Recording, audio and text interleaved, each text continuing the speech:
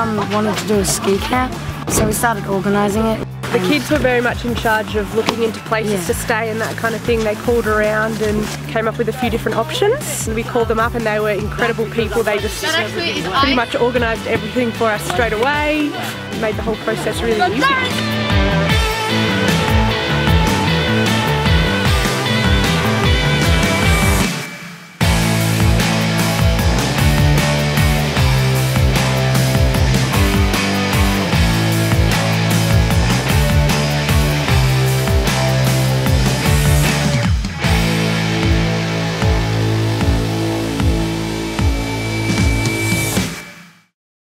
So you're in Howman's Gap.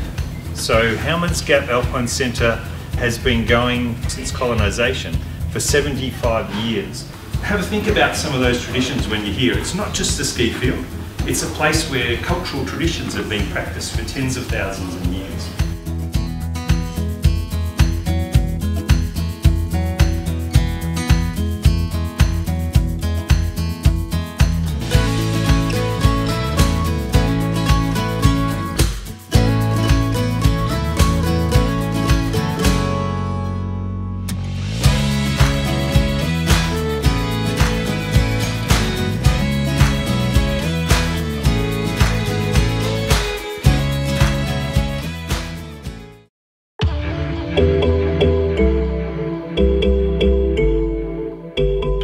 To do with snow, so they'll head up to Windy Corner, Falls Creek cross country and go snowshoeing, go tobogganing, go cross country skiing. Other groups will come in and go snow camping, so they'll jump on backcountry skis or touring skis and go out overnight. The remaining guests will go snowboarding or skiing.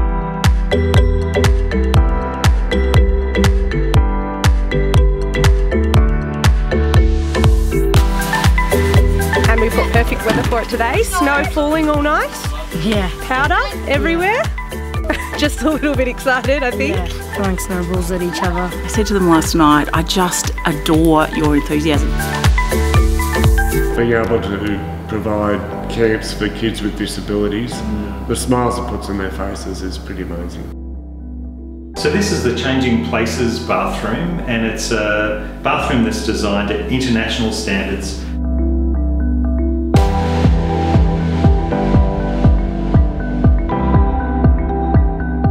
It's a demand-driven building. It is. It's- Yes, I'm definitely coming back. I've I've already told Peter to put my name down for next year. amazing facilities. The, the staff are amazing, and it's easy access to the mountain.